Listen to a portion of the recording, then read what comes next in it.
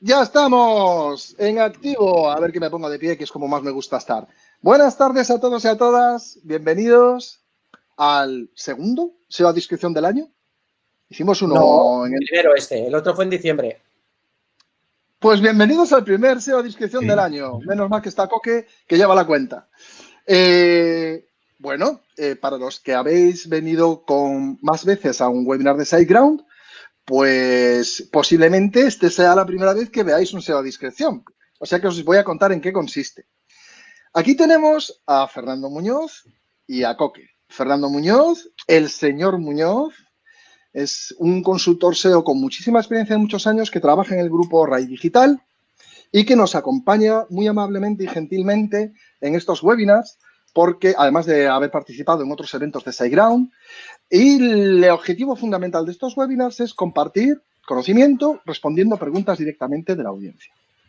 ¿Se me escapa algo más, eh, Fernando? Muy buenas tardes. Nada, todo bien. Encantado de estar delante de, tus telespectadores de nuevo. Un placer estar aquí. Hoy somos 591, eh, agraciados, porque esto es como si te tocase la lotería del SEO. Mm, directamente, eh, que dos personas de este calibre contesten preguntas en directo, directamente, de aquellas dudas que tengáis, es un auténtico lujo. A nosotros, nuestro habitual de todos los programas de SEO, de todos los webinars de SEO, aquí tenemos a Jorge González, Coque, de Internet República, responsable comercial de eh, Internet República en Barcelona, del área de Internet República, consultor SEO, eh, especializado pues también Fernando Muñoz en proyectos de, gran tráfico, muchísimos años de experiencia y además eh, Coque es eh, uno de los fundadores y organizadores de Clinic SEO, que además, si no me he olvidado de nada en tu presentación, Coque, nos vas a decir eh, cuál es el próximo evento de Clinic SEO, ¿verdad? Pues sí, la semana que viene, la semana que viene creo que en la web que tenéis aquí de Clinic, que lo estoy apuntando, clinic.is, ¿vale? La semana que viene es el día 30, eh, martes 30. Vamos a tener un clinic que además será súper práctico. Eh, lo vamos a hacer en vivo y vamos a hablar de Google Sheets y de Data Studio, ¿vale? De, vamos a tener a Carlos Ortega, a Carlos Darco en Twitter y a Juan González eh, Villa, SEO estratega, dos de los más que están hoy en el candelero y que están aportando mucho en Twitter con todo el contenido que hacen y tal.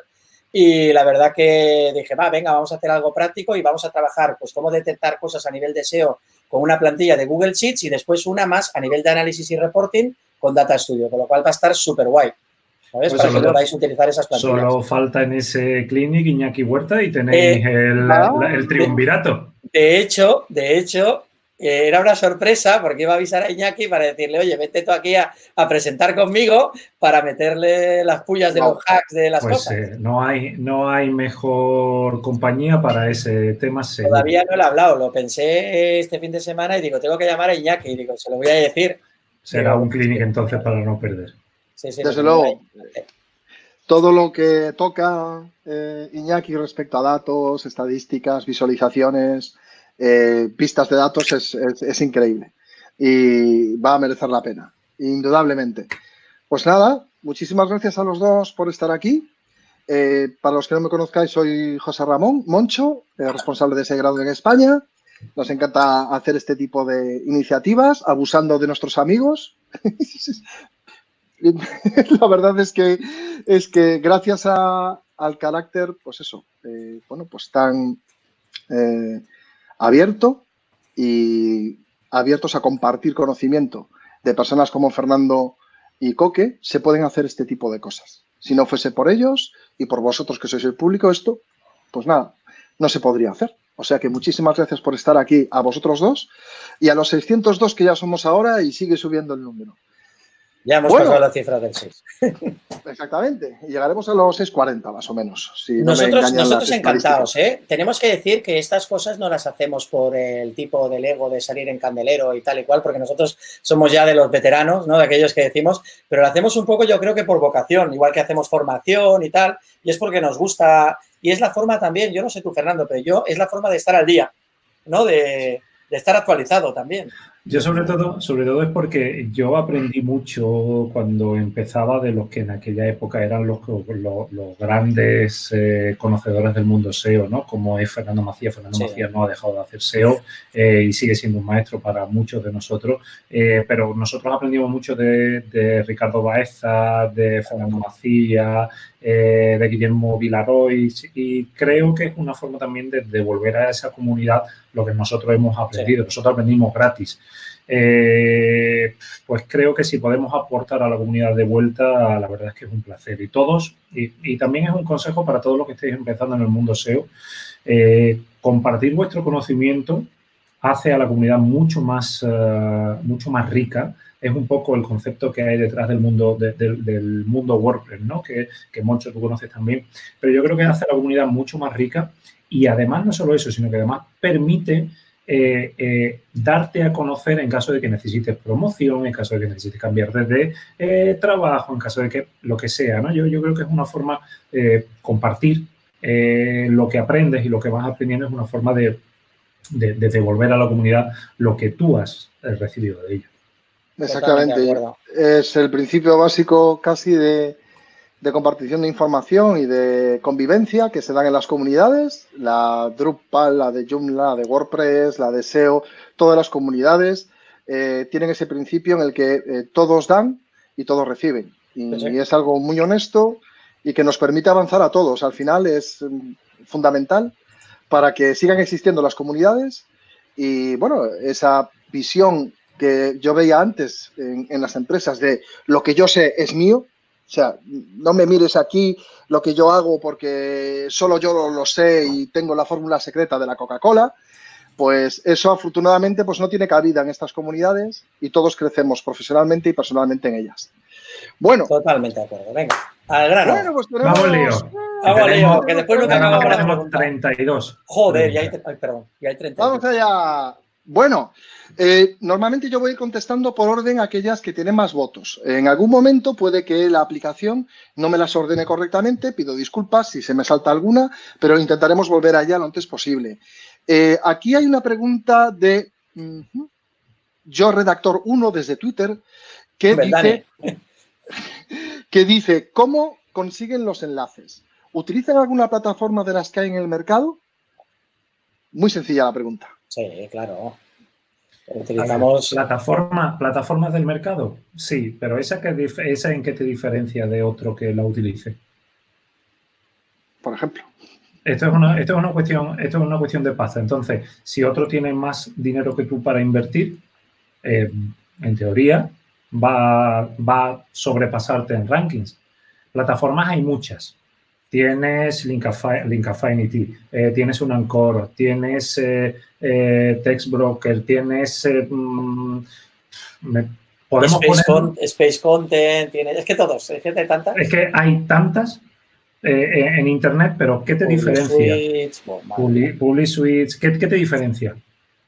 Elegir dónde comprarla comprarla en el sitio más barato? Bueno, compras el más caro de los que hay ahí porque posiblemente no todos tendrán el mismo tal, pero sí que al final ese enlace todo el mundo puede acceder a él, digamos. Yo ahí, eh, yo ahí lo, más difícil va a ser siempre ese, ese, yo creo que esa es la panacea del SEO, ¿no? Ese, eso es lo que todo el mundo quiere, que es eh, conseguir enlaces sin, sin, sin tener que comprarlo. Eh, ¿Puedes hacerlo? Puedes hacerlo. Lo que pasa es que cuesta mucho trabajo. Y no solo cuesta mucho trabajo, sino que puedes hacer todo el trabajo de PR tradicional y comerte los mocos.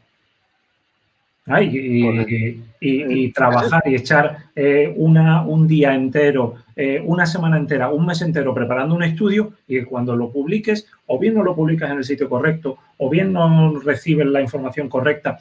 ¿Y qué? ¿Y, qué? y en ese momento bueno, lo, que pasa, lo que pasa es que también depende de, con quién trabajes. Yo, por ejemplo, trabajo con Leolytics, ¿vale? Eh, y, por ejemplo, me lo hacen muy personalizado. Entonces, no voy a un sitio a comprar y tal. O sea, yo hablo con Jesús y tal, les digo, oye, necesito esto.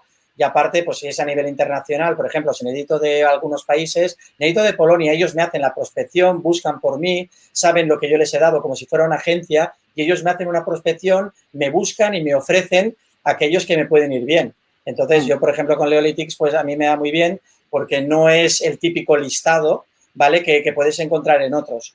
Por ejemplo, sí que es verdad que lo que tiene SICO, el Fusion Link Affinity, a nivel de, de, de afinidad va muy bien, porque te hace ese matching de análisis de, con quién no deberías y con quién sí deberías, porque muchas veces muchos de los que hay en otras plataformas hay mucho podrido dentro, hay mucho enlace podrido, ¿no? Eh, desde luego, el mejor enlace es aquel que no tiene tu competencia, Decimos siempre, aquel que no puede acceder a tu competencia es el mejor enlace, pero también depende con quién trabajes, pues ya te digo, yo con Leolitics me va muy bien porque no me buscan, eh, no me buscan el, listado típico, sino que me hacen muy a medida lo que yo necesito y pago. También es verdad que pagas por ese servicio, pero, pero la verdad que muy bien. Y, esa, y eso es algo que eh, mm, Coque ha pasado así sobrevolando y no ha entrado en profundidad. Coque ha dicho, eh, hay mucha mierda. Hay, hay mucha, mucho, enlace, mucho enlace que puede perjudicarte más que beneficiarte. ¿Creéis que a pesar, o sea, creéis que vosotros tenéis acceso a un listado en Leolitics y el, grupo anti-spam de Google no tiene acceso a ese listado? Sí, están dentro. Eh, entonces, mm, a ver, plataformas. Hay más serias, más profesionales, pero al fin y al cabo son todos eh, enlaces que mm, vas a tener siempre la espada de Damocles de que son enlaces comprados.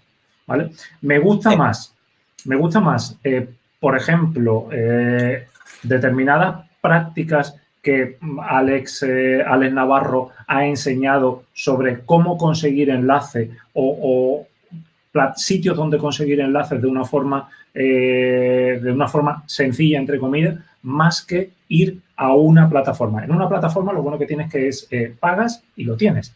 Bien, perfecto, esto es una cuestión de dinero. Mm, Fantástico. A ver, yo me acuerdo, yo me acuerdo de alguna forma, la mejor forma en la época que hacíamos link building era cuando la, no utilizábamos plataformas, sino que la prospección era interna. Es decir, oye, ¿qué es lo que me interesa? ¿Dónde me interesaría estar? Y ponías a una persona a contactar con esos sitios y, bueno, en base, en base a eso, pues, bueno, ejercías un tipo de relación diferente. ¿Sabes? Ahora, yo, sinceramente, no soy eh, muy usuario de esas plataformas. Sí que uso la de Sico, la de Fusion, porque me interesa tener la afinidad y tal, ¿vale? Pero después, eh, pero sí que trabajo con Leolitics, pero porque lo hago, me la hacen a medida. Digo lo que quiero, ellos me presentan y miro tal y, analizo claro, y ya está. Es un servicio personalizado y desde luego pinta un poco diferente a lo que comenta Fernando. Bueno. Pues eh, fantástico. Gracias por tu pregunta, yo redactor 1. Y pasamos a la siguiente. ¿Qué tiene que ver con el hosting, hombre. A ver qué dice Álvaro. Hola, me sucede que cuando una empresa deja a una agencia para trabajar conmigo y me deja en manos su web, o sea, en mis manos su web, al hacer el cambio de alojamiento web de uno propio de la agencia por otro contratado por SiteGround, intento coger uno de los paquetes con mejores características, las posiciones de la web bajan de una manera sorprendente. Curioso. ¿Es posible que el traslado de un servidor propio a uno de un uso más público, como puede ser el de SiteGround, afecte demasiado al SEO? Bueno, para alusiones yo querría contestar algo. Bueno, no sé si estáis midiendo las mismas cosas. Álvaro, supongo que sí. Eh, partamos de que efectivamente se está todo midiendo bien y efectivamente cuando cambias de servidor, el número de visitas baja. Eh, las razones por las cuales normalmente baja el posicionamiento de una página web es porque hay una disminución en, el rendimiento, un aumento de la velocidad, con las consecuencias que ello tiene en el crowd budget, en el tiempo de rastreo que tiene Google, etcétera.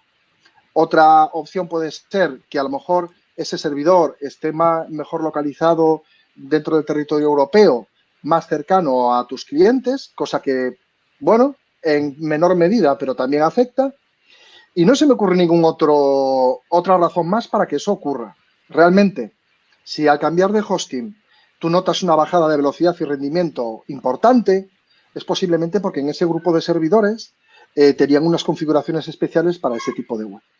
Yo lo que me diría, eh, más que el ranking o el número de visitas, eh, sería en lo relativo al servidor, que es lo que realmente se debería medir, es todo lo referente a rendimiento, carga de página web o, mm, por ejemplo, todos los, nuevos tipos de mediciones que, Lighthouse está haciendo en este momento.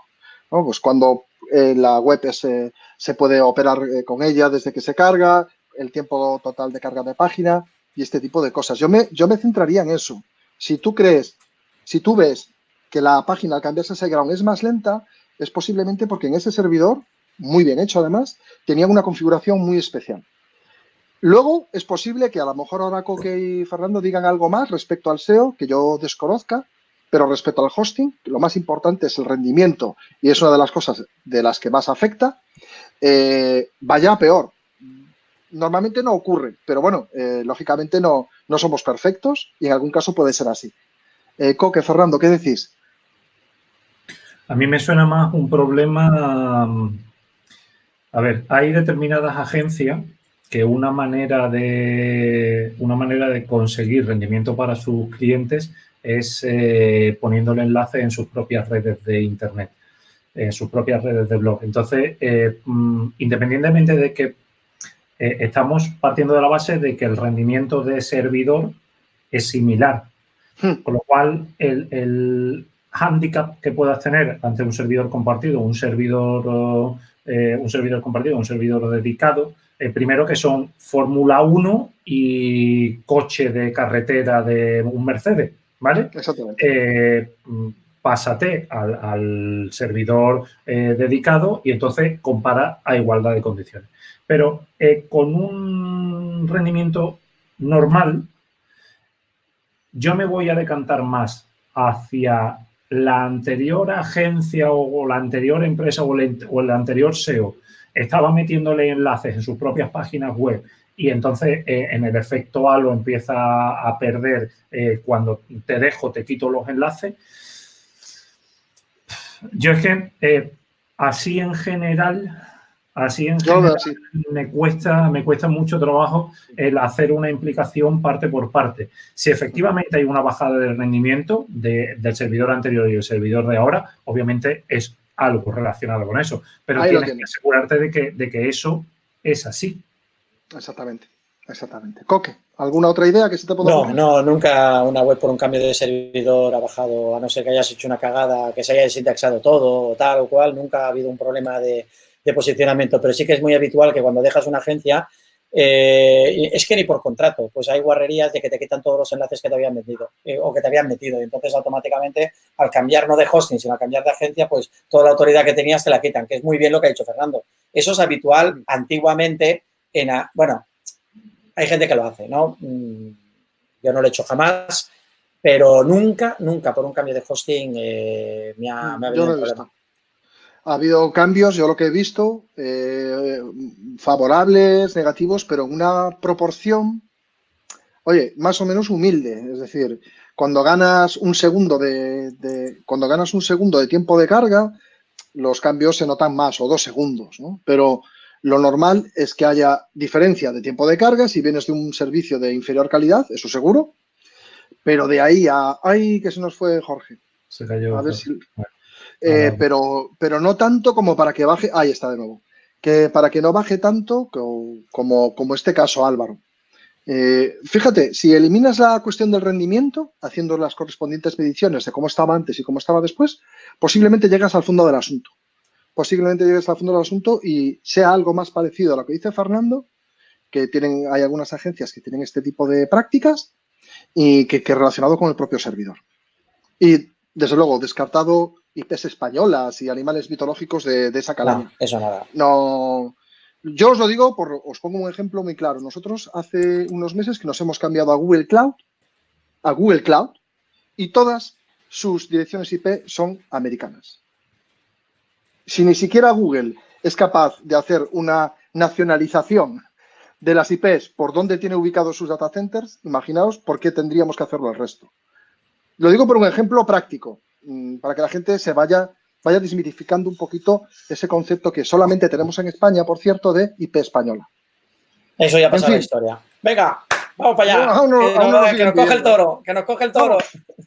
Siguiente con 5, 5, 5, 5, 5, con 5 votos. Vero nos pregunta. Hola, Vero. Mi pregunta es en relación a las fotografías de bancos de imágenes de pago, del estilo Shutterstock, y cómo las interpreta Google. ¿Puede Google leer esa foto como contenido duplicado, ya que hay muchas más webs que utilizan esas fotos? ¿Puede penalizarme por utilizar muchas fotos de bancos de imágenes en mis artículos web? Gracias.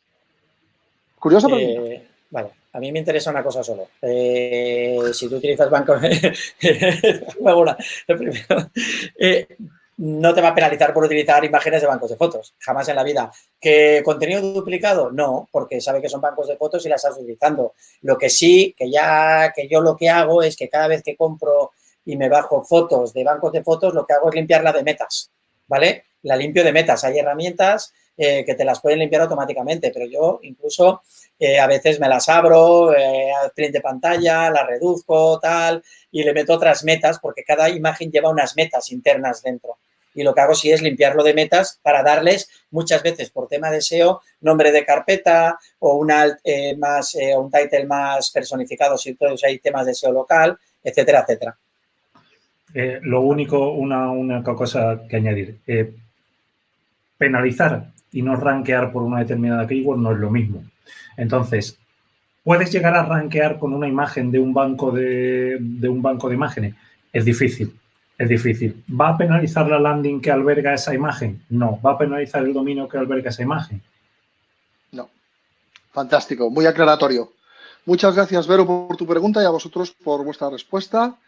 Eh, cuando son así de concretas da gusto porque se contesta rápido y además queda perfectamente contestado, ¿no? Bien, eh, Lidia, una asidua. Ah, bueno, están pidiendo, están diciendo de que qué herramienta, la han puesto en el otro lado. hay una que se llama Photo Metadata Remover, que es una aplicación. Había también otra que era el, el, el Verexis o algo así, o alguna. Hay varias. Yo ya, yo, a ver, si tienes que hacer mucho de forma automática, pues hay varias que podrás encontrar por muchos sitios. Yo es que la hago a mano. Fantástico. Fantástico. Ya sabéis, os buscáis un tutorial de cómo limpiar los meta, el metadata de las fotos o utilizáis un aplicativo. Bueno, Lidia ha sido de nuestros webinars. Muchas gracias, Lidia, por venir de nuevo y por hacer tan buena pregunta.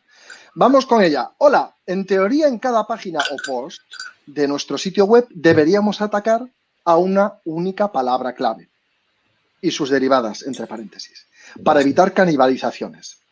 En la home deberíamos atacar a nuestra keyword principal aunque luego haya una página para esa palabra clave. O enfocar más la home al nombre de la empresa o en la home podemos, debemos atacar varias palabras clave que sean importantes. Gracias. Eh, a ver, si tienes una landing interna luchando por la misma keyword, no la ataques en la portada. ¿Vale? Primero. Ahora, decide si tienes una landing interna o bien tienes una eh, o, bien tienes la portada para atacar a esa keyword. Es una decisión tuya. ¿Qué es lo que pasa? Cuando tú eliges una keyword para atacar la portada, lo que hace es centralizar mucho eh, la temática sobre la que va la web. Entonces, con, esta, con esto encima de la mesa, hay dos, hay, hay dos cosas. Eh, hay dos preguntas a continuación. La primera es, ¿tu web tiene marca? Si tu web tiene marca, si, tienes una Coca-Cola, me lo invento, un corte inglés, no te vayas con la portada a luchar por eh, la keyword principal. Vete por una keyword secundaria. Ahora, si solo vendes eso, patinetes eléctricos, por mucho que tengas internamente muchos otros patinetes eléctricos en particular, si tu keyword principal es patinete eléctrico y solo vendes patinetes eléctricos y no tienes una marca, vete, eh, llévate el patinete eléctrico a la, a la portada. Pero contestar en general a esta, yo lo que haría sería siempre llevarme la keyword a una URL diferente de la, eh, diferente de la portada, con la excepción esta de que tengo una home, una, tengo una web que es mono keyword, ¿vale? Un nicho. Fantástico. Entonces, en un nicho me tiraría la, la keyword a la portada. Fantástico. Coque. Bueno, eh, dependiendo de la autoridad que tengas, ¿vale? Eh, cómo se echa la estructura.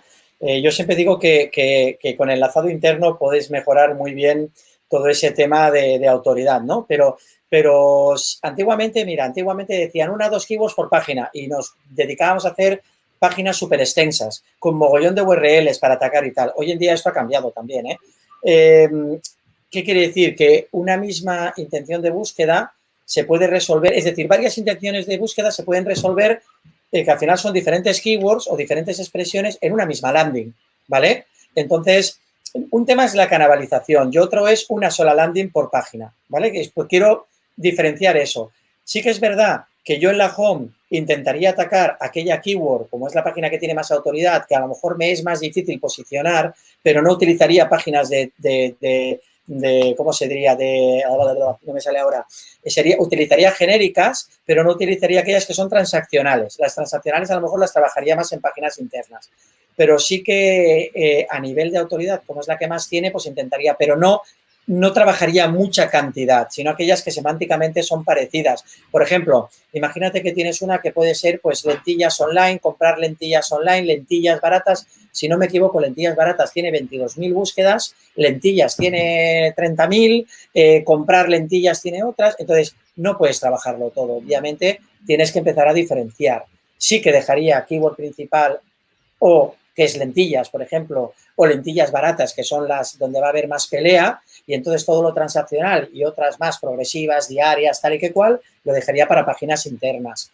Pero que sepas que eso no quiere decir que tienes que hacer una página por, eh, por, eh, por keyword, porque hay muchas que son similares hoy en día y que y a nivel semántico hoy en día, pues eh, si resuelven la misma intención de una manera u otra, comprar lentillas y comprar lentillas online lo puedes resolver la misma, no tienes que hacer dos. ¿Vale? Simplemente por intentar explicar. Muy bien, pues fantásticas respuestas. Muchas gracias Lidia por tu pregunta, que sé que tienes unas cuantas más. Vamos a seguir con otra pregunta de Lidia. Eh, hola, normalmente el sitemap de una web lo creamos con plugins tipo Yoast SEO, que lo generan automáticamente y confiamos en que Google lo vea barra lea. Pero si queremos hacerlo manualmente sin plugins, ¿cómo debemos crearlo? ¿Dónde y cómo hay que ponerlo para que Google lo tenga en cuenta? Gracias.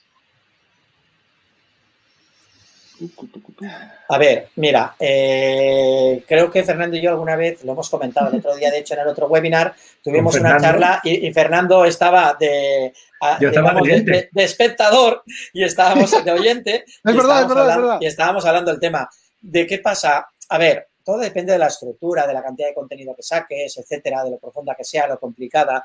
Mm, nosotros siempre decimos que, como SEOs no nos gusta depender de un sitemap, sino que nos, gusta depender de nuestra arquitectura.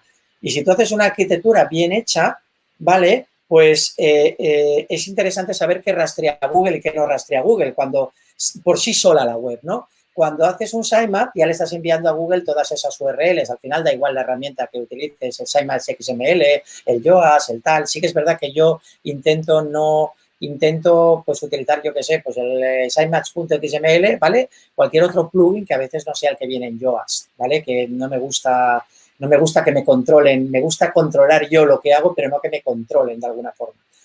Pero siempre digo que si tú tienes una buena arquitectura, una buena arquitectura de enlazado interno, es que Google ya llega a todo. Entonces, realmente el sitemap, ahora si tienes mucho contenido nuevo y quieres que ese contenido nuevo se actualice y que, bueno, es que, es que Google es que indexa como una máquina perfecta. Entonces, eh, realmente los sitemaps no son un factor SEO para nada. Lo digo porque muchas herramientas que os ponen, no, tienes sitemap, sí tienes sitemap. Eso es tontería, ¿vale? No, no, eh, no, no, no, no es un factor SEO, ¿vale? Simplemente es un tema de indexación, ¿vale? Sí que es verdad que si tu web indexa mala, mala, mala, eh, mal, pues un sitemap le ayuda a que Google sepa todas las URLs que hay. Pero bueno, me va cerrando a ver qué, nos cuenta.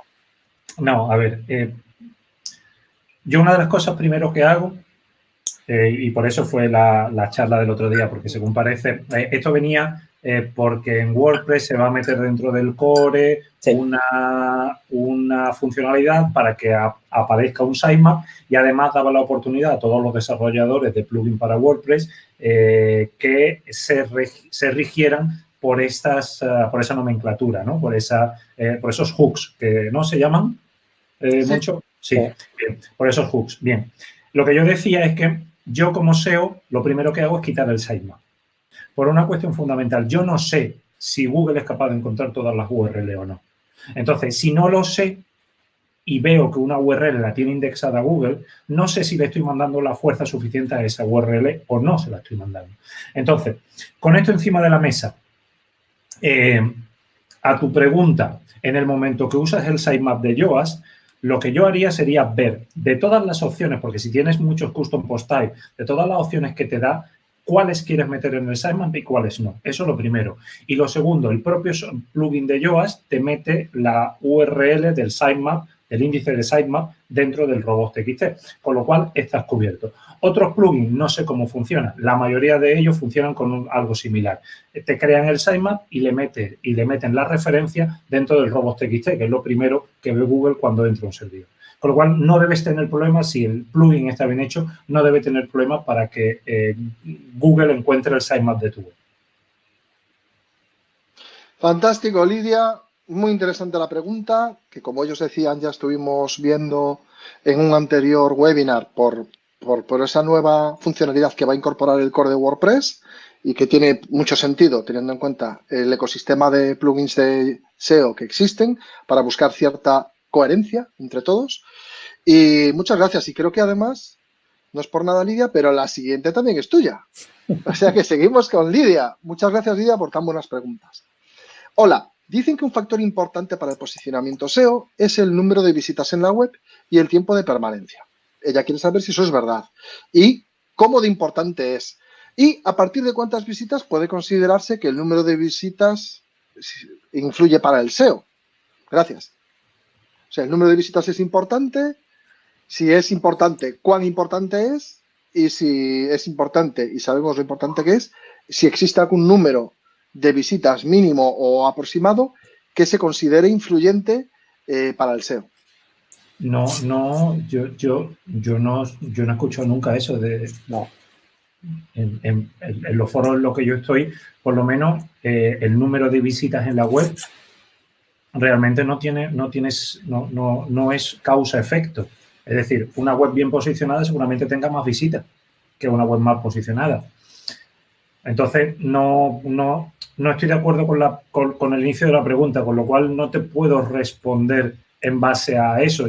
Es verdad, mi punto de vista, como dicen los ingleses, my point is, no, no tiene relación. A más es una consecuencia. Es, al contrario, es más bien al contrario. Tienes buen posicionamiento y por eso tienes más visitas. Ergo. It's, it's my point. Eh, it's my point of view. bueno, yo, a ver, eh, te explico que sí, que obviamente hace tiempo que se habla de que el comportamiento del usuario, el RAM brain, tal, obviamente es normal. Cuando una cosa tiene visitas es que funciona. Cuanto más tiempo pasas, eh, es como si vas a una tienda, estás dentro y estás mucho tiempo y encima, y encima compras, ¿no? Eh, entonces, pues claro que es normal. sí, ¿es un factor que ayuda? Sí, es un factor que ayuda. Lo que está claro es que Google sabe perfectamente, o sea, todas las, todas las maquinarias y todas las herramientas que nosotros creamos que existen en el mercado, cuando llegas a Google se multiplican por mil, ¿vale? Yo me acuerdo una amiga española que está trabajando en calidad de búsqueda y tal y nos decía, alucinaríais todas las, iba a decir una cosa que es una expresión un poco fea, las cosas mentales que podemos tener en la cabeza, multiplícalas por mil porque así es. Entonces lo controlan todos, saben perfectamente que si una web está en primera, segunda, tercera posición por el volumen que tiene, el patrón normalmente de visitas que suelen tener son estas, por lo cual no es normal que a veces una web que esté en la posición 15 hayas comprado tráfico para tener visitas, no es lógico, ¿no? A no ser que hayas hecho una campaña, imagínate si has hecho una campaña. Entonces, ¿qué ocurre? ¿Es un factor? Sí, el tiempo medio, antiguamente, ¿te acuerdas, Fernando, que decían que eh, lo que era la tasa de rebote, cuando pasaba de X segundos, ¿no? de 15, 20, 30, ya se consideraba una visita positiva y no era una visita negativa. Pero claro, tú vas a una web como qué tiempo es, ¿no? Y vas allí, miras y en dos segundos ya sabes lo que hay y te vas, ¿no? Eh, pero claro, eso se multiplica por un millón de visitas, con lo cual tiene comportamiento, Google acaba aprendiendo qué es eso. Lo que quiero decir es que no existe eh, un, número de cuántas visitas necesitas, sino que lo que está claro es que si tu web está en la posición 12 y compites con otra que es la 13 y la tuya tiene 6 y la otra tiene 4 y tú a la semana siguiente vuelves a tener 6 y la otra vuelve a tener 4, Google te va a dar un paso para adelante, pasarás a la 10 y ahí empezarás a competir. Yo siempre digo que el SEO son pequeñas guerras. Hasta que no llegas arriba, son pequeñas guerras. Tú compites con, si estás en la 15, compites con entre los que están en la 12 y los que están en la 17. Hasta que no pases a otra guerra, ¿vale? Eh, no hay un número, pero sí que hay patrones, ¿no? Que existen ahí, que dices, oye, ¿cuánto tráfico tiene esta web en esta posición? Podrías llegar a analizar algo, pero es que eso son demasiadas elucubraciones mentales que a veces eh, yo sí que veo que hay que llevar tráfico a la web, ¿vale? Y he trabajado en webs que están más atrás, les hemos llevado tráfico de manera natural y artificial y han subido para arriba, ¿vale? Y han subido para arriba. Entonces, sí que es un factor, pero no existe un número exacto. Vale, ok. En la tasa de rebote... Ya sabe, ya sabe más, ya sabe más eh, que yo. Eso es lo bueno que, eso es lo bueno que tiene este tipo de cosas. Que siempre Pero es lo, es lo, que hablábamos aquello del CTR, de manipular el CTR, ¿sabes? De que sí que es verdad que funciona. O sea, yo con Mark he hecho cosas de compras de tráfico, en algunas cosas por reputación y tal, y es brutal cuando haces la compra de tráfico, cómo se reacciona un dominio y sube posiciones. Otra cosa es mantenerlo ahí, ¿eh? Con el tiempo, eso es otra cosa. ¿Vale? Pero... Eh, ya que estamos, y, veo que en el chat está saliendo algo a tenor de esta pregunta, eh, ¿cómo influye la tasa de rebote en, en el posicionamiento? ¿Cómo influye? Es decir, Google en su rastreo eh, va a tener en cuenta no solamente nuestro HTML, nuestra estructura de contenidos, sino también el comportamiento del usuario y va a, bueno, de alguna forma a posicionar mejor o peor nuestra web si las tasas de rebote son muy altas. ¿Tenéis constancia de ello? es que creo que el problema, el problema ahí está en el concepto de tasa de rebote. Depende del contenido que tengas, lo que ofrezcas. Claro, lo que, eh, el ejemplo lo ha puesto bastante bien antes Coque, ¿no? Si tienes una web que te da los horarios del autobús y tú lo que quieres son los horarios del autobús, lo ves y, lo ves y listo, y ya y no, tienes que volver. El, problema está, eh, hay una, está asociado a un concepto que no es un concepto de, eh, no es un concepto de Google, es un concepto eh, que sacó Yahoo en su día, ¿no? Que, eh, es el concepto del, famoso power sticking, ¿no? El ir y volver, ir y volver.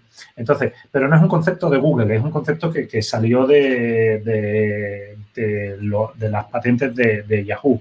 Y, y el problema está en el rebote a la página de resultados cuando realizas una búsqueda. Entonces, en ese momento, sí deberías tener cuidado. Si el usuario llega a tu página y no encuentra lo que está buscando o no satisface lo que está intentando encontrar, lo que va a hacer es volverse, volverse y clicar en otro resultado. Entonces, esa transición entre una página y demás, esa sí la puede saber, eh, la puede saber el buscador independientemente de que tenga eh, Google Analytics o no lo tenga. Haces clic, entras y vuelves es la misma cookie, es la misma visita, es la misma eso. Y si te vas a otra página donde encuentras mejor la, el resultado. Entonces, en ese caso, yo creo que sí, en ese caso sí es bastante más eh, acorde a ese concepto de porcentaje de rebote, ¿no? Fantástico. Eh, ¿Quieres añadir algo más? bueno, es, lo mismo, no existe no existe nada. Es que opino como él, lo del poco sticking sí que es verdad, porque si tú no encuentras en un resultado lo que hay y vuelves otra vez, es que aquella web no te ha valido, eh, no te ha resultado. Entonces Google al cabo de un tiempo lo tiene en cuenta y, sobre todo la repetición en el tiempo. De hecho, Google está, normalmente las que ya están arriba es porque ya dan respuesta al usuario, por eso es muy difícil eh, eh, quitar el puesto a esas que están ahí, ¿no? Tienes que hacerlo mucho mejor. Pero Google está encantado de hacer ese movimiento, porque lo está haciendo continuamente. ¿Por qué? ¿Por qué? Porque él lo que quiere es siempre mejorar que, que, que o sea, que, el contenido sea válido para el usuario. Y por eso siempre hay bailes. El Google Dance a veces que tienes ahí es justamente porque Google a veces manipula también para, para ver si ese da mejor resultado, ¿no? Entonces, pues bueno, eh, pero está claro que cuando tienes una tasa de rebote alta, alta, ¿vale? Alta, y que además, eh, eh, digamos que el usuario viene y se va, tienes un problema, que tienes que resolverlo. Entonces, y a la larga te va a afectar. Fantástico. Bueno, Lidia, vaya preguntazas que nos haces, madre mía, que generan, generan eh, no discusión, pero sí. Mira, es un dato, siempre, perdona, perdona, Mon, siempre hemos dicho que una cosa, que captar al final cuesta. Retener, ¿no? Cuesta lo suyo y fidelizar también cuesta lo suyo y, cada, y que hay que trabajar en cada línea. Una cosa es la captación, ¿vale? Y otra cosa es la retención. Bueno, ya la conversión vendría y después la fidelización, ¿no? Pero, pero muchas veces trabaja, se trabaja mucho en la captación, pero no en la retención y, en la conversión. Y son factores diferentes, ¿eh? Porque no el hecho de que te venga mucho tráfico quiere decir que vas a vender. Pero bueno, ya nos metemos en el general. Sí, sí, no, no, no. Y además uno de los más importantes, porque es una de las partes de, bueno, de, todas las estrategias que hay que cumplir para que un proyecto sea exitoso. No únicamente atraer tráfico, hay que convertirlo, desde luego. Desde luego. Vamos allá. Seguimos con, más preguntas, porque ya tenemos 47, madre mía. Esto... Hostia, cuenta. Ay, mara me va. Uy, tenemos, que hacer, tenemos que hacer aquello que dijimos del, de X horas, de un... un, webinar, un webinar de tres horas. Un webinar de tres horas. Vamos, pasando, vamos pasando expertos no, y para que descanséis y hagáis un avituallamiento o algo así. Tenemos que ser más rápidos. Venga, va. Bueno, este usuario que no ha puesto nombre, cosa que no está muy bien, eh, pero bueno, oye, has hecho la pregunta que, está bien. Pero bueno, poned nombres, por favor, y si podéis poner una foto, mejor, así os conocemos. Cuando se realizan cambios en el SEO, ¿cuánto es el tiempo promedio? Walter Rivera pone ahí el nombre. Eh, yo no lo veo. A lo ah, mejor es mi navegador, entonces. Vale, Walter eh, Rivera. Cuando se realizan cambios en el SEO, ¿cuánto es el tiempo promedio para que se vean esos nuevos cambios? Porque a veces queremos verlo de la noche a la mañana, pero supongo que Google se toma su tiempo. Ah, vale. Ver los cambios en Google, que te refieres a, las SERPs. Vale. Exacto. no, entiendo, no entiendo la pregunta. Sí, que cuando tú haces un cambio de descripción o de title, cuando aparece en, la caché, se borra la caché y se reactiva la, o sea, la caché de nuevo, con el nuevo title en una descripción.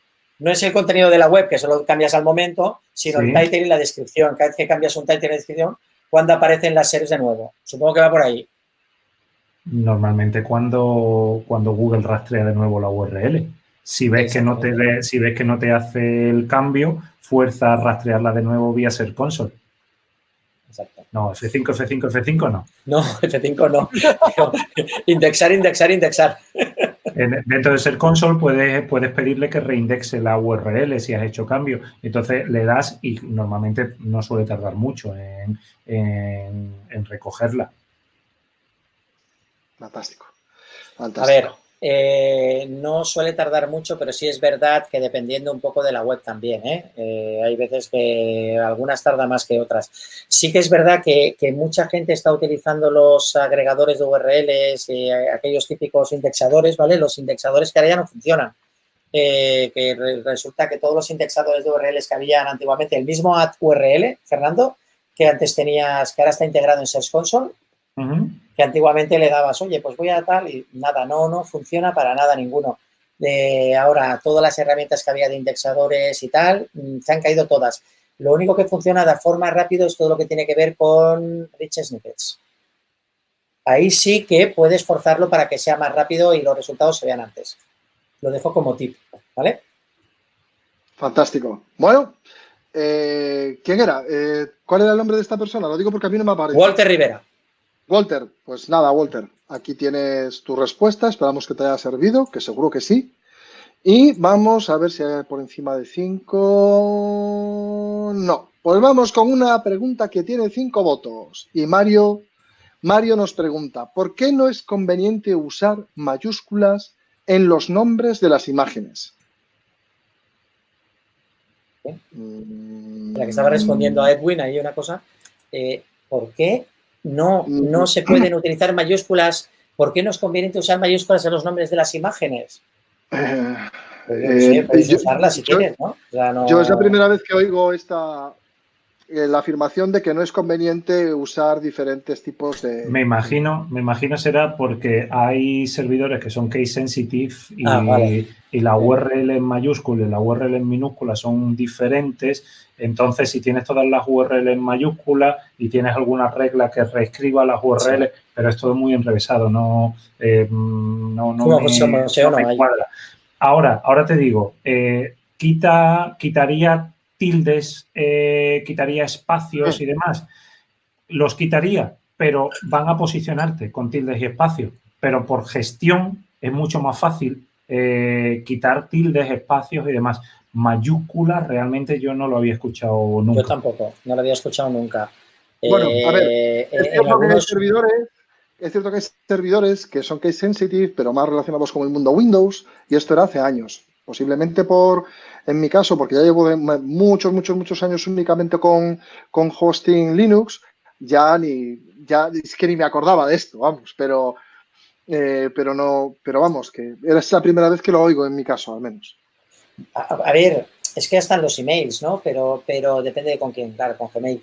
Pero antiguamente, eh, en algunas cosas, pero bueno, eso en Google Places y pones todo en mayúsculas y tal, pero es que no, a nivel de SEO y a nivel de, no lo hemos oído jamás.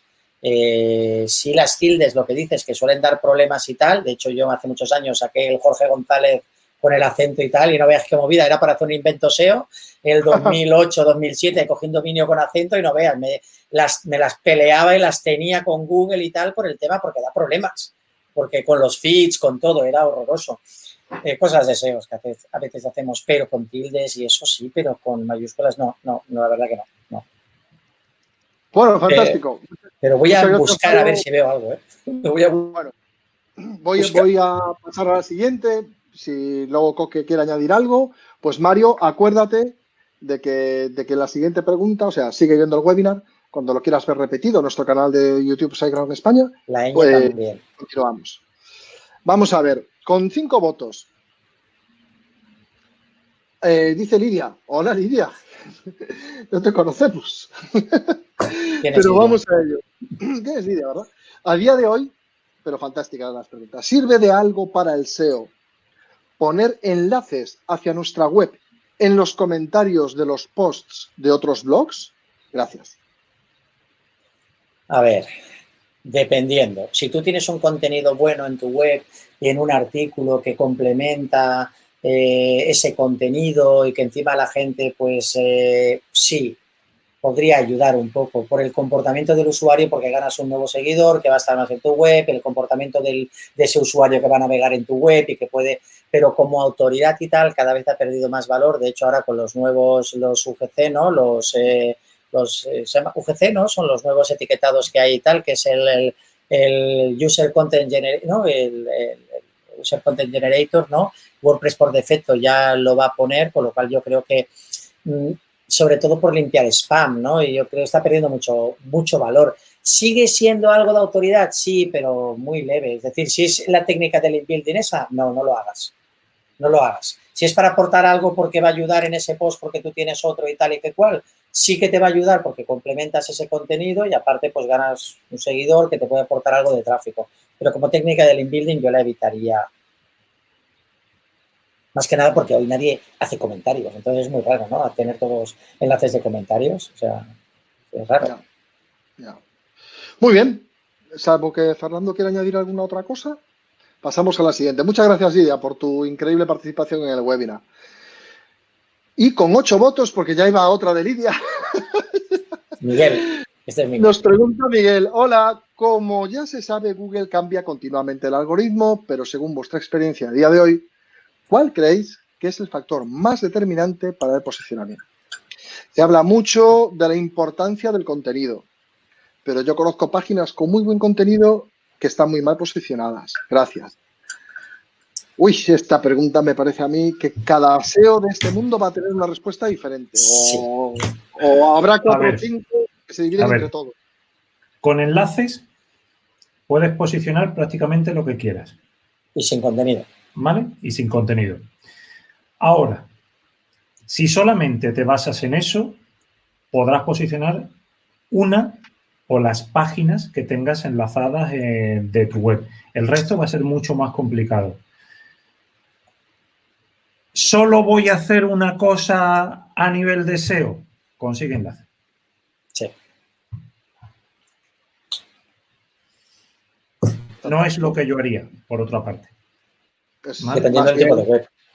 También dependiendo del tipo de web, Fernando, ¿no? Porque de, eh, eh, eh, si pienso, aprovechando que Coque está cortado, si pienso... Pero, Venga, ya has vuelto. Es que, es que he visto la cámara como parada. Ya has vuelto, ya has vuelto, dale. Es que desapareciste. Nada. Y ha vuelto a desaparecer. Sí. Bueno, seguimos. Eh, eh, yo, si eh, tuviera que jugarme. Ahora, ahora te dejo. si tuviera que jugarme la web de mi empresa a enlaces, no me la jugaría. Si quiero posicionar un Made for AdSense, un Made for eh, mm, un nicho eh, para mandar tráfico a Amazon y quedarme con los reviews eh, o tuviera que, mm, bueno, vale, ¿por qué? Porque me daría igual si Google me la penaliza. Entonces, solamente si tuviera que meter todo mi dinero y me diera igual la web, que la web puede llegar a estar penalizada y me daría igual, que seguramente enlace. Muy bien. Jorge, ¿estás vivo? Perdona, que es que iba cortando porque había visto la cámara que se quedaba fija y, como no hablabas, pues, y después se me ha quedado a mí la mía, o sea que, era por eso, perdona. Eres tú, eres tú el que habla ahora. Que ya, el cambio de congelamiento. Vale. Fantástico. Vale, eh, no existe algo que sea lo único que tienes que hacer, ¿vale? Cuando Google te dice que tienes que tener que los enlaces son naturales, pues te ríes, ¿no? Porque dices, oye, si yo me dedico a hacer, yo qué sé, lo que decíamos, los cojinetes, pues, aunque siempre teníamos discusiones con Aleida, ¿no? Y de, sí, claro, a no ser que mates a alguien en cojinetes, no, no vas a ver la prensa. Pero tendrás tu sector si lo haces muy bien técnicamente, con unos contenidos y tal. A ver, si tuvieras que elegir un factor, yo elegiría eh, tráfico ¿vale? Que, ¿Cómo se consigue el tráfico? Ese es otro tema. Pero para mí el factor sería comportamiento de usuario, me interesaría mucho, pero para subirlo necesitas eso otro, que es contenido, es un mix, es contenido y autoridad. Hoy por hoy los enlaces siguen siendo importantes. Le doy toda la razón a lo que ha dicho Fernando. Si tuvieras que una cosa, para subir más rápido sería con autoridad, con enlaces, pero hay que depender si la web es nueva o no es nueva. Ya visteis lo que dijo el John el otro día, ¿no? El Juanito. Eh, con lo cual, no es normal que una web la hinches a enlace siendo nueva porque tienes un riesgo también. Entonces, pues bueno, es un mix, al final es un mix, eh, es un mix, pero sí que es verdad que la autoridad, y muy de acuerdo en lo que ha dicho de la penalización, si no tienes miedo a que la enguarres, pues métele, métele pasta, abono, venga, todo el abono que quieras para adentro. Ahora, si es tu negocio y va a estar, pues tienes que ir trapeando un mix y sabiendo que eso en el tiempo tiene que ir subiendo de forma moderada. Y también te digo una cosa, las redes sociales para crear ese tráfico y ese comportamiento van muy bien, porque posiblemente al inicio no tienes autoridad y tal, pero si tienes una persona que te mueve muy bien ese contenido que vas haciendo en redes sociales, te puede dar muy buen comportamiento del usuario y eso te puede salvar de no tener enlaces. ¿Vale? Que son muestras, son señales que vienen, pero sí que es verdad porque yo estoy viendo webs que no tienen autoridad y trabajando muy bien las redes sociales y con contenido bueno, eh, están subiendo. Fantástico. Miguel, esperamos haberte ayudado con estas respuestas. Eh, vamos con cuatro respuestas, con cuatro votos. Una pregunta de Lidia. Oh, Lidia. Nos ha hecho el guion, nos ha hecho el guion entero del webinar hoy. Fantástico. Bueno, una pregunta muy relacionada con el mundo de los blogs y, etcétera. ¿Los comentarios ayudan al SEO? Es decir... ¿Esta no es la de antes? Sí, la chica de antes, sí. Pero la no, pero lo de los comentarios. ah, bueno, los enlaces era. Era, eh, ¿en qué medida y cómo deberían ser, ayuda. Fantástico. Sí, sí. O sea que cuanto más tráfico de comentarios tenga nuestra web, eh, mejor. Siempre y cuando... Tráfico, relevancia, relevancia. Aquí la clave está en relevancia. Si son comentarios, que, los comentarios... que ayudan a nutrir ese contenido que tú tenías. Yo me acuerdo que yo posicionaba, que era el cachondeo que hacíamos siempre, ¿os acordáis aquella de abogado? Diferencias entre injurias y calumnias, un blog que tengo por ahí, que era, bueno, no sé si era este de Jorge González con acento, y, yo posicionaba por diferencias entre injurias y calumnias por delante de todos los abogados del mundo, porque tenía 200 comentarios que hablaban de cosas de eh, me han injuriado, mantan, y al final estaba posicionado por los comentarios, no por el contenido. Fíjate, pues desde luego, no hay nada mejor que un caso práctico para saber si algo funciona. Muchas gracias. si tienes muchos primos, muchos familiares y tal, pues que comenten. ¡Eh! Ir a comentar. Como en YouTube, ¿no? Pero siempre que, ojo, siempre hablamos de lo mismo. Tienen que nutrir ese contenido que había y mejorarlo también de alguna forma. Y además, mira, una cosa, que esto tiene mucho que ver con eh, Google My Business. Si te dejan comentarios ricos en palabras clave en tu ficha de Google My Business, esos comentarios se asocian a tu ficha de Google My Business.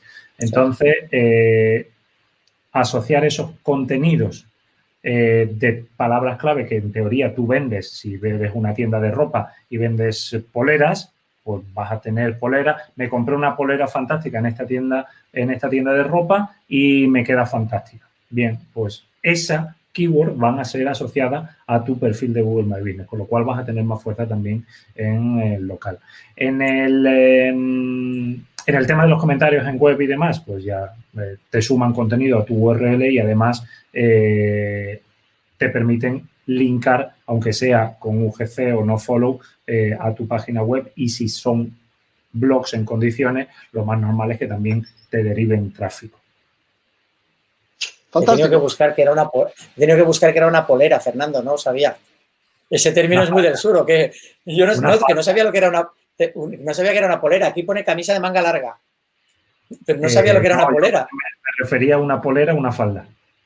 Ah, no, pues cuando pones polera en Google te ah. salen camisas de, se, los, te las asemeja a camisas de manga larga. Es igual cuando en Cataluña las zapatillas deportivas le llamamos bambas y aquí en otro sitio le llaman deportivas y en otro sitio le llaman... Las tenis, las tenis. Las, tenis. Entonces, no sabía lo que era una polera y me he ido a polera. una polera es un, sitio para hacer polos. Vale, bueno, también sí, claro. Una polera. Bueno, fantástico, Lidia. Muchas gracias por tus preguntas. Seguimos contestando con cinco votos, que esta es muy general, pero bueno, venga. Antonio es de los asiduos. Vamos con Antonio que nos pregunta, una tienda de ropa en Perú quiere la tienda en inglés y español. De cara al SEO, ¿cuál es la mejor recomendación para hacer el sitio? Me imagino que se refiere a subdominio, no dominio, eh, subdominio, carpeta, eh, a la estructura de contenidos más que otra cosa. Si la tienda no tiene marca, carpetas EN y ES. ¿Vale? Eh, hacer la web en inglés si no tienes tráfico inglés o no vendes a ingleses, ¿para qué? ¿Para qué? No lo entiendo muy bien. No lo entiendo muy bien. Entonces, eh, si eres una web, eh, si eres eh, Nike o Adidas, pues .com barra es, .com barra en. Si ahí puedes hacer o n.adidas.com, s.adidas.com, ahí puedes hacer lo que quieras. Pero si no tienes marca, si no tienes marca, subcarpetas. Subcarpetas. Eh, sinmarca.com barra es, sinmarca.com barra en. Coque. Bueno, más o menos lo mismo. Lo que pasa es que lo de la marca a ver, mm, eh, mm, yo, entiendo que, por ejemplo, pues debe haber algún mercado en Perú que sean extranjeros que viven allí, que a lo mejor, pues por, a lo mejor quiere atacar ese, ese tipo de, Entonces sí, que tiene sentido, ¿no? Pero eh, hacerla en dos idiomas. Aquí en muchos sitios la tenemos en dos idiomas, por turismo, por lo que sea, ¿no? Eh, o el tipo de producto que tenga.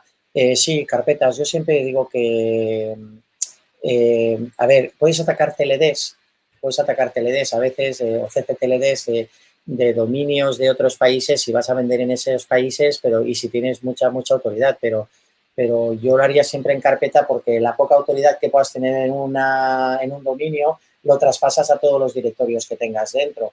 Y en vez de hacerlo en un subdominio, aunque ya dijeron que, que, que los dominios, porque esto no se lo cree nadie todavía, pero que dijeron que los subdominios tenían el mismo valor que el dominio de raíz, ¿vale?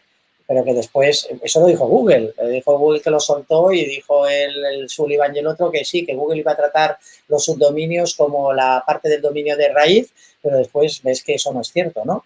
Eh, a no ser que tengas un contenido muy dispar y lo pongas en, un subdominio que tiene sentido. Bueno, volviendo al tema, la autoridad que tengas en el dominio principal, que es la raíz, pues lo traspasas a todo lo que hay dentro. Eso vale también para los blogs y para todo, ¿vale?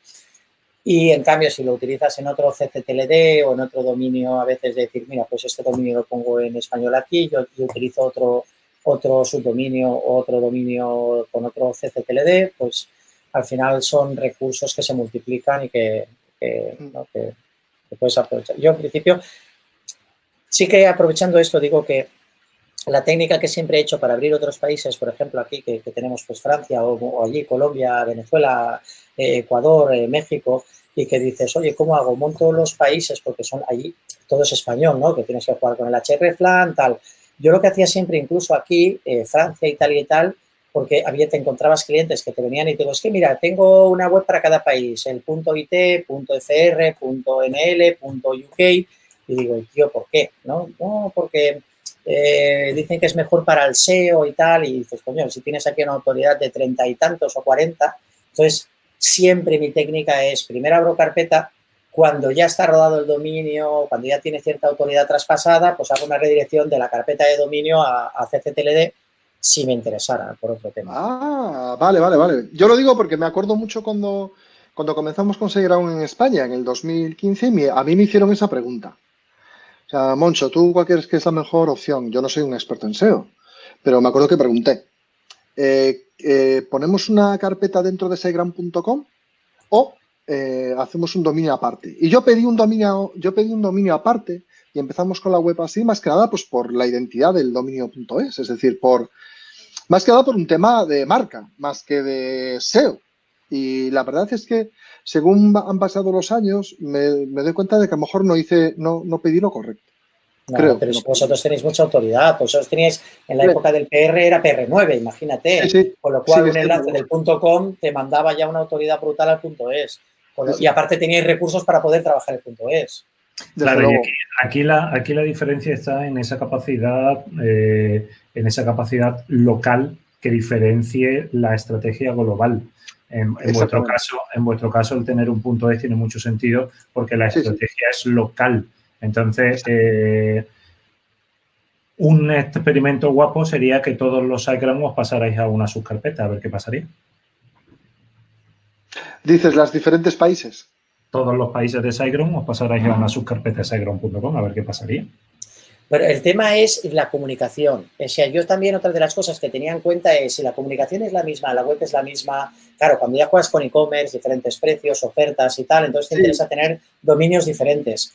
¿Vale? Eh, pero, y encima, si la comunicación es la misma y tal, pues en carpetas. Ahora, si va a ser diferente el plan de marketing de cada país, entonces sí que te interesaba también tenerlo separado. Bueno, son diferentes. Tenemos en liras, en, perdón, en euros, en liras, en euros, en dólares, en libras.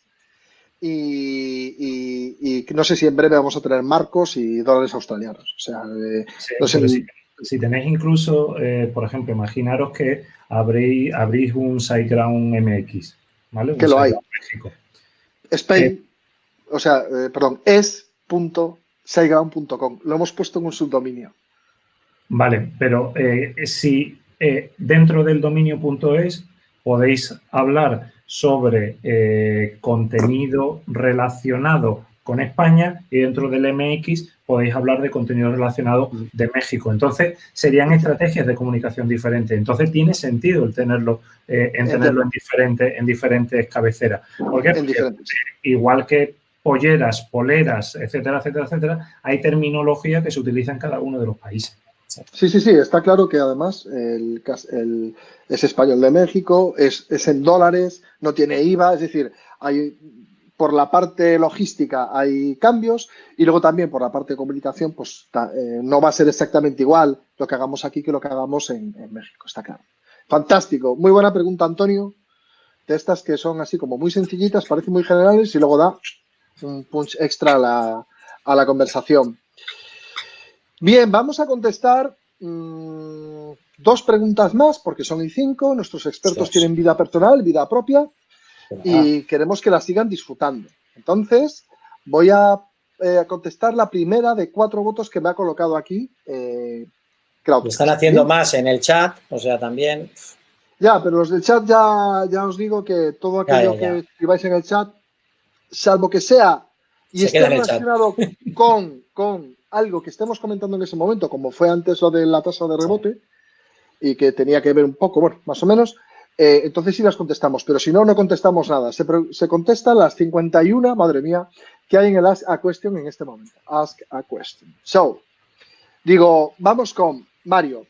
Con respecto a las URLs huérfanas, esto es, URLs que no son accesibles desde la estructura principal de la web a través de enlaces, pero sí las tenemos y están también en el sitemaps, que atacan a palabras muy específicas a modo de landing para llevar a nuestra web determinadas búsquedas. ¿Sería mejor ponerlas en alguna parte de la web para traspasarlas fuerza, para, para comunicarles algo de autoridad, etcétera? o con dejarlo así ya es suficiente. En principio no hay interés que ningún usuario que entre vaya a ellas. Enlázala. O sea que... Eh, Adóptala, que no sea huérfana. Eso, ponle, papi y mami. Sería mejor sería mejor ponerles en alguna parte de la web para traspasarles, eh, pues eso, autoridad de dominio, etcétera. ¿Correcto? Fantástico, fantástico, fantástico. Bueno, pues muchas gracias. Esta es rápida. Muy bien, bueno, pues nos va a dar tiempo a contestar algo más. Creo que vi alguna de cuatro por aquí. Creo que vi una de cuatro, pero es que estos de Crocas me lo ponen difícil. Arriba del todo. Vamos.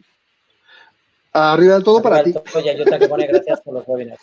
Arriba del todo. Ah, Vamos a ver. Ah, mira, mira, a mí me aparece en tercera y cuarta. Paola.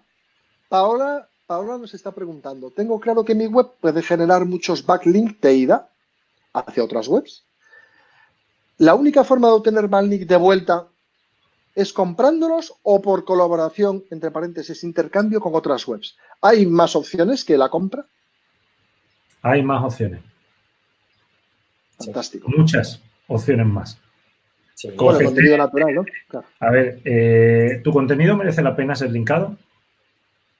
Si tu contenido merece la pena ser linkado, promocionalo.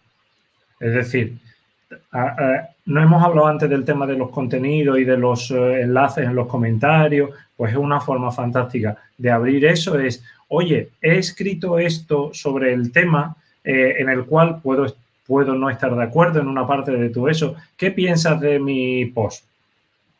¿Vale? Quizás sea eh, cutrecillo, pero ya ahí tendrías una manera de que, eh, que un posible lector encontrara eh, tu contenido. Entonces, sí, existen muchas maneras. Yo, una de las webs que tengo, no he comprado ni he intercambiado un enlace en mi vida. Lo que he hecho he sido ir knock knock en redes sociales, ir mandando mensajes a gente que yo pensaba que estaban dentro de mi dentro de mi nicho, dentro de mi sector, eh, ofreciéndole nuestro contenido. Obviamente el contenido es muy bueno.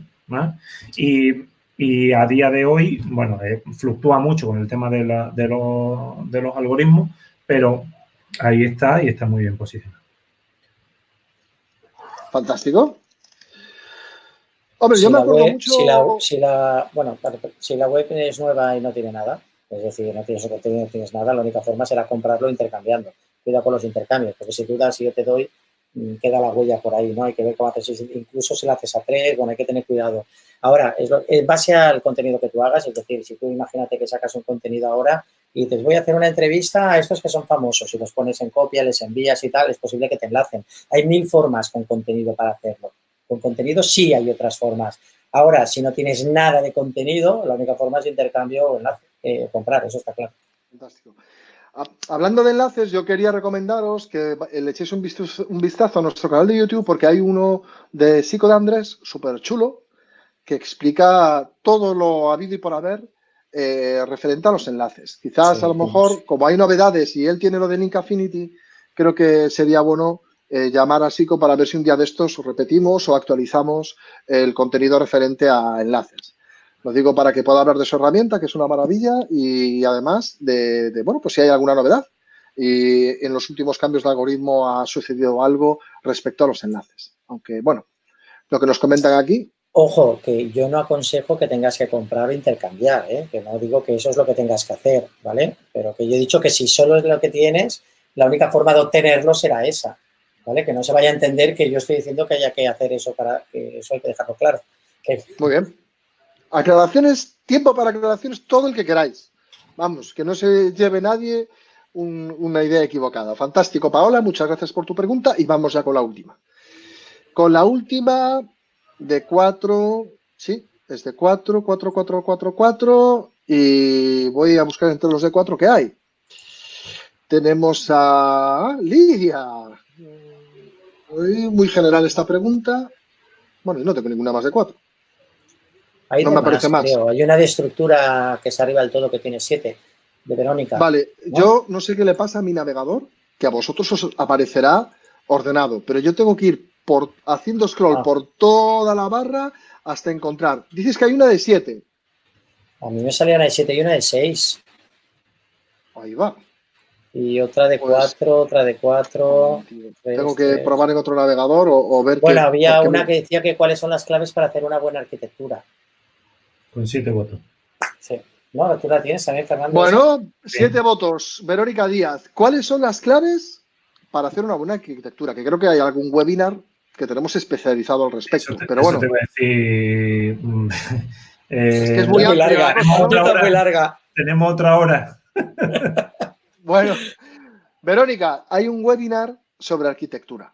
O sea que si Una- quieres echar un vistazo. Quizás una, una clave. eh, enlazar aquellas secciones que tienen relación unas con otras. Quizás sea una de las claves más generales y más lógicas. No enlazar desde la sección de zapatos a la sección de eh, mm, cucharillas de plata para el té. ¿Vale? Eh, Desde luego, intentar- desde luego que es diferente.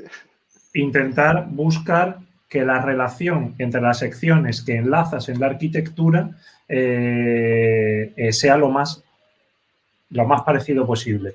Y, y- y yo creo que como tip fundamental quizás sea ese, pero tenemos, tendríamos que tener una hora o dos horas para. Eh, no, es que ya os digo que hay un webinar específico eh, específico de esto. O sea que, en fin. ya, Sí, están en fin. preguntando allí que qué webinars, dónde están y tal, pero bueno, si vais a eh, si vais directamente a webinars de SiteGround y tal y buscáis por allí, pues no me acuerdo, o buscar Chico de Andrés, webinar eh, mira, SiteGround, igual saldrá. Para todos los que estáis, efectivamente, gracias. eh, efectivamente, mira. No, a ver, un momentito, que a ver si es que esto va. Hoy, hoy, hoy me va lento el navegador, o sea, todo lo que tengo que escribir. Y entre que escribo, le doy a Eh, mi- sobre arquite- sale. Mira, mientras explico, eh, bueno, ya la han puesto ahí, Patricia, la, mira, Patricia. Muchas gracias, tiene- Patricia. Qué maja, que está ahí ella como, un saludo para ti. Esa para ti. Eh, eh, ¿qué, te iba, qué os iba a decir? Eh, te hicimos uno hace muy poco de arquitectura, ¿te acuerdas? Con Dani Pinillos. Sí, sí, sí. También. Ya, buenísimo, que además. explicaba, que explicaba muy bien el cómo hacer una buena arquitectura. Es que nos vamos a tirar muchísimo tiempo, Verónica, Claro. creo que era el nombre, ¿no? Eh, pero Sí. sí. que como tip ese, que a ver, dices, oye, ¿cuántas cosas pongo en el menú? Yo te digo que en el menú hay que poner lo que realmente es práctico, ¿no? Eh, que, que sí que son los primeros enlaces, que llega a Google, hacer una arquitectura muy estética. Pero es que, claro, depende de tanta web, me vas a decir, no pongas muchos, tú pon muchos. Hacerlo estilo silo, que tengan referencia entre sí, como decía Fernando. Te referías, bueno, digo silo, ¿vale? No son estructuras no, no. silo. no, soy, No me refería, completamente, soy completamente contrario a la estructura. Vale, sí. Creo que no me refería a estructura silo, sino a la relación semántica. eh, eh, a la relación semántica, para eso tendrías que entender lo que es la semántica, porque un limón, pues puede, a nivel semántico, pues acaba relacionado con, yo que sé, con una dieta o con mil cosas, ¿no? Ah, Pero, pero sí, sí, las estructuras de semántica son muy amplias, pero sí que esa sería un tip, ¿no? Eh, de hacerlo. Yo siempre digo que la arquitectura que tienes que encontrar arriba es lo que ayuda, como en el e-commerce, ¿no? Aquello que quieres vender, ¿no? Eh, ¿Dónde lo tienes que situar para que se vea mejor, ¿no? De alguna forma. Fantástico, Verónica. Como ves, tu pregunta no puede ser contestada porque es demasiado general, pero afortunadamente hace poquito que hicimos un webinar con Daniel, eh, Daniel Pinillos, lo encontrarás en nuestro canal de YouTube. Échale un vistazo, echando un vistazo todos al, al canal de YouTube porque llevamos, ¿cuánto tiempo, Coque? ¿Dos años haciendo Pues, webinars SEO? sí, ahora, ahora creo que ya llevamos eh, cerca de dos años, yo creo que sí.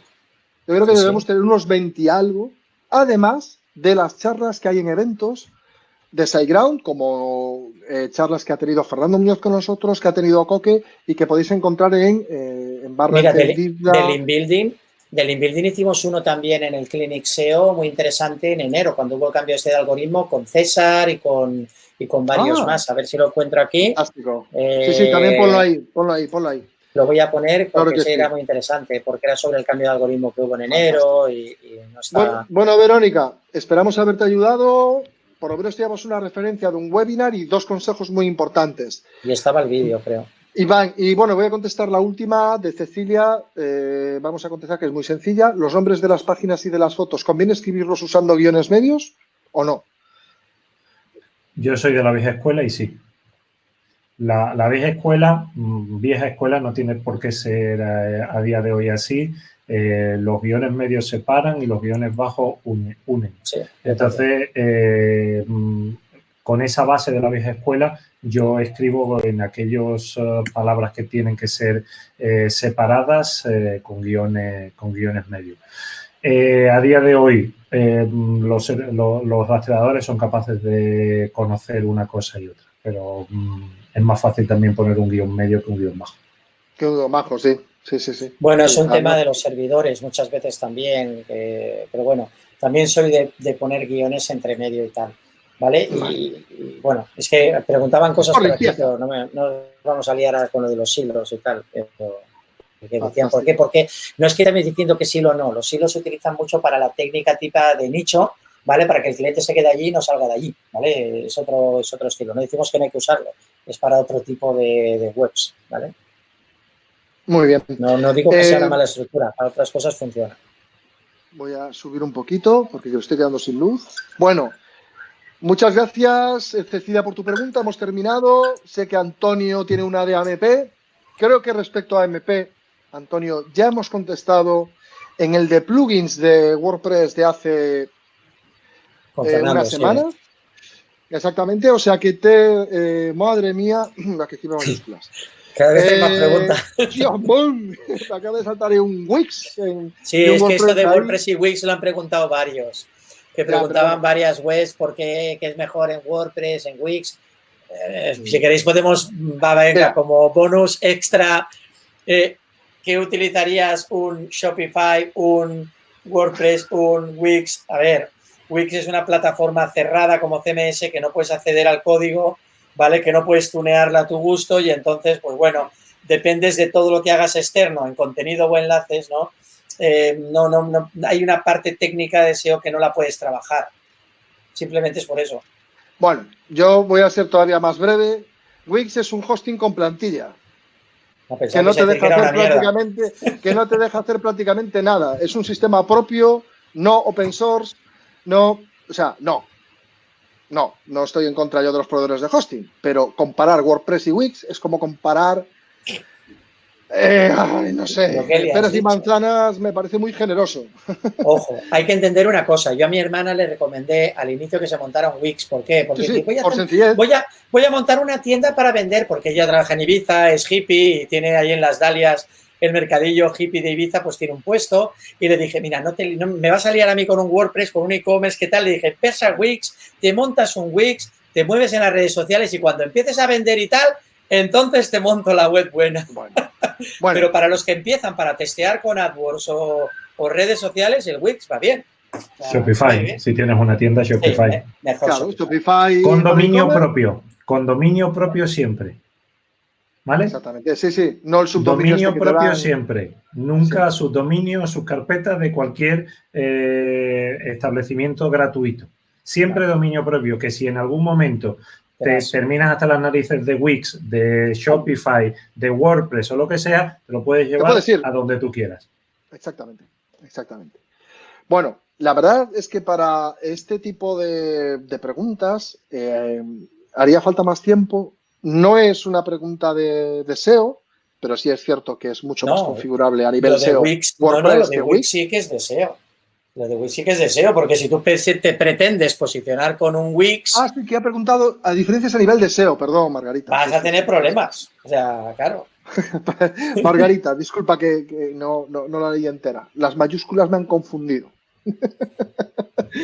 Eh, nada, si queréis, creo que en algún, en algún webinar respecto a WordPress ha surgido eh, preguntas de este estilo. Las respuestas son muy elaboradas porque hay muchas razones, pero todos tienen sus ventajas y, sus inconvenientes. ¿no? Wix lo bueno que tiene es el gran favor que le hace Internet por hacer todavía más sencillo que WordPress publicaran.